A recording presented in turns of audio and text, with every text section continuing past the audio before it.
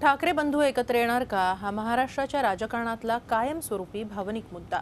शिवसेना भाजप युती तुटल्याच्या पार्श्वभूमीवर हे दोन बंधू एकत्र येण्याची नांदी झाली होती पण नेमकं परत घोडं अडलं. आता अपयश आलं असलं तरी भविष्यात नक्की यश येईल असा आशावाद व्यक्त केला आहे बाळा नांदगावकर यांनी. त्यांच्याशी बातचीत केली आमचे प्रतिनिधी देवेंद्र कोल्हटकर यांनी.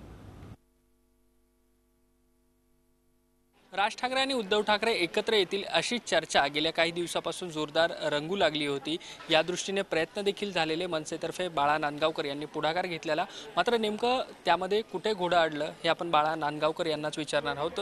राजसाहेबांनी ज्या पद्धतीने सांगितलं की तुम्ही मध्यस्थी करत होता शिवसेनेकडून काही लोक होती मात्र नेमकं काय घडलं यामध्ये?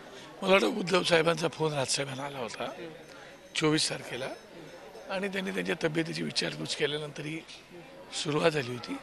त्याप्रमाणे साहेबांनी मला काही सूचना केल्या होत्या. आणि त्या सूचनांचं पालन मी केलं होतं. आणि त्याप्रमाणे माझी तयारी मी पूर्ण केली होती. त्यांनी तयारी दाखवली होती. पंचवीस तारखेला परत बोलणं झालं. सव्वीस तारखेला आमच्या पक्षाच्या वतीने साहेबांनी माझं नाव सांगितलं. उद्धव साहेबांनी अनिल देसाईंचं नाव सांगितलं. आणि त्याप्रमाणे मी त्यांच्या सतत कॉन्टॅक्टमध्ये होतो. परंतु त्यांनी नंतर संपर्क केलाच नाही. त्यामुळे माझ्या प्रयत्नांना अपयश आलं. काय हरकत नाही. आज अपयश आले. कधीतरी यश येईल. मी आशावादी माणूस आहे. आणि बाळासाहेबांचा आमच्या पाठीशी आशीर्वाद आहे. नक्की आम्हाला यश येईल.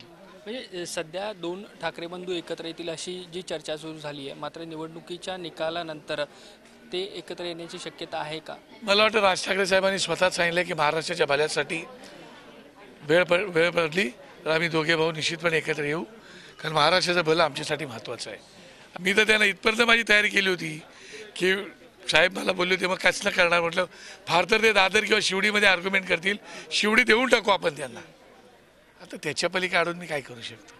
एवढी भावना मी ठेवली होती. त्याच्या पलीकडे आता नाही झालं नाही झालं. त्याला काय करणार? पण मी आशावादी माणूस आहे.